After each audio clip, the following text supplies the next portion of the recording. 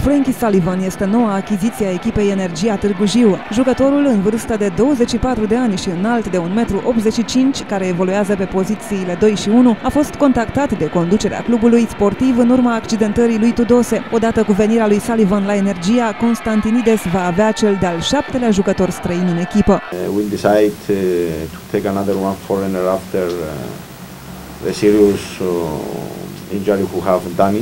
A fost al șaptelea, al șaptelea jucător uh, străin pe care l-am aduce. Am luat acea decizie să aduce momentul în care am constatat accidentarea lui Tudose. Uh, Trebuie spus de la început că această accidentare va mai, uh, va mai trebui încă o lună de zile pentru a se pune pe picioare. Sullivan se anunță a fi un nou scorer pentru campionatul României, unul cunoscut pentru potențialul și interesul deosebit manifestat de majoritatea echipelor pe faza ofensivă. El a avut peste 170 de reușite din spatele semicercului, respectiv 36 în cele 21 de partide susținute în Europa. Sullivan a vorbit despre calitățile sale de jucător care vor veni în sprijinul echipei. physical, strong guard. That's what I try to uh, bring to the table, and also playing defense and uh, doing the dirty work. If that, that's what I like to do for the team. Este un jucător uh, fizic uh, care face și munca de jos, uh, în special uh, apărarea și astea sunt aturile cu care uh, poate să ajute echipa.